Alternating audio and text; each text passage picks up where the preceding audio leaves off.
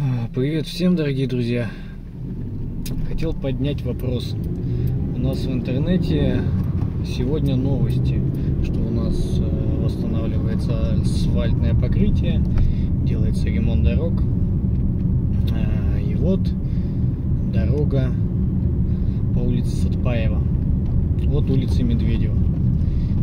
В том году здесь меняли отличный асфальт, который, ну, как бы, по моему мнению, менять не стоило. Вот смотрите, здесь проводили какие-то работы. Работы закончились около месяца назад, но так ничего и не заасфальтировано. Чуть дальше, чуть дальше, напротив профилактория железнодорожников, в том году положили асфальт, в этом году его сняли.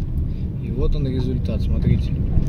Сняли его в начале июня, но так ямы и не залатали.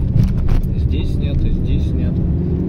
Но тем не менее в том году дорога была в идеальном состоянии. Напротив профилактория имелась небольшая яма, ну, сантиметров 15 в диаметре. Зачем-то решили снять все и поменять отличный асфальт. Дальше мы сейчас с вами проедем. А, Будет поворот на вагонное депо.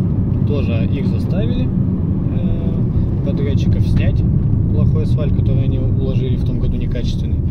Они его снять-то сняли, но вот в чем беда. Здесь, смотрите, тоже по левой стороне асфальт не сделан. Здесь снято, прямо на повороте. Смотрите, какие ямы. Все это не сделано и не устраняется. Вот так вот гордимся новым асфальтом